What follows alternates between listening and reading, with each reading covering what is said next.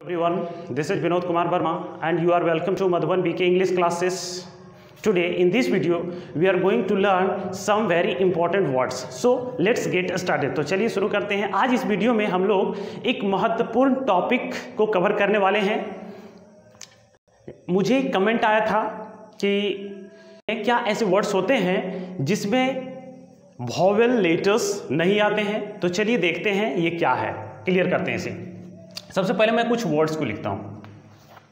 आप इन्हें देखिए ध्यान से। Sky fry dry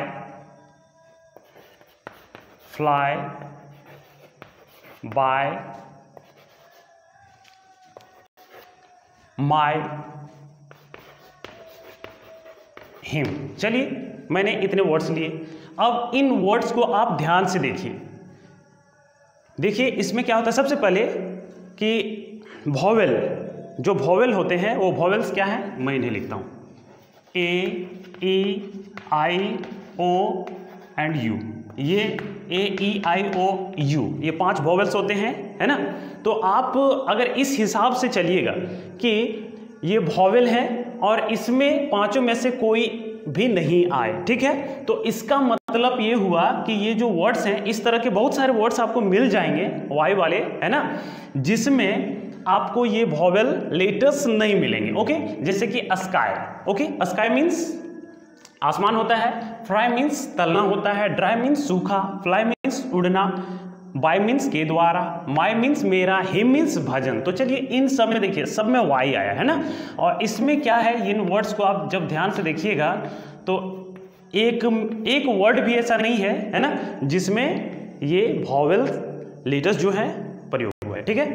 तो इस तरह से आप कह सकते हैं कि ये बिना वॉवेल लेटर्स के वर्ड हैं। लेकिन ध्यान दीजिए, आप अगर इसमें जाइएगा, ठीक है? तो ये आप राइट नहीं है। क्यों?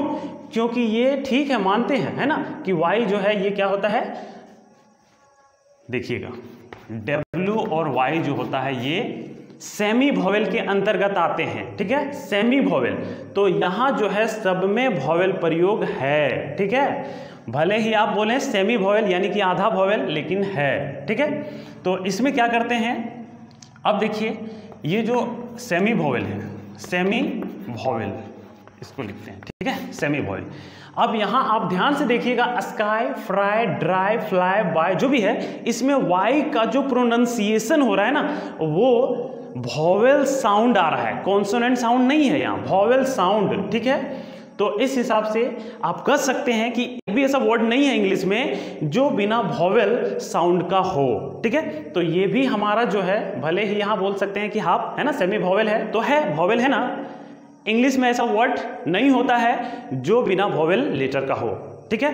एक होता है, देखिएगा।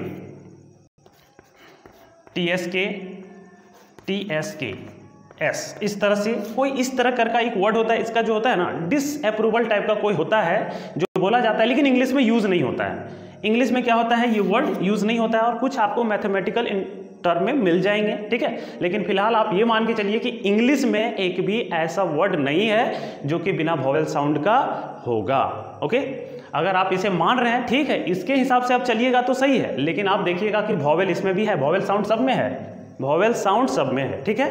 तो ये था हमारा आज का वीडियो अगर आपको वीडियो अच्छा लगा हो तो आप वीडियो को लाइक कीजिए, अपने दोस्तों में शेयर कीजिए। अगर आप इस चैनल में पहली बार आए हैं तो चैनल को सब्सक्राइब कीजिए और बेल आइकन पर प्रेस कर देना है, क्योंकि वीडियो का नोटिफिकेशन आपको सबसे पहले मिलेगा। Okay that's all for today see you tomorrow in the next video thanks for watching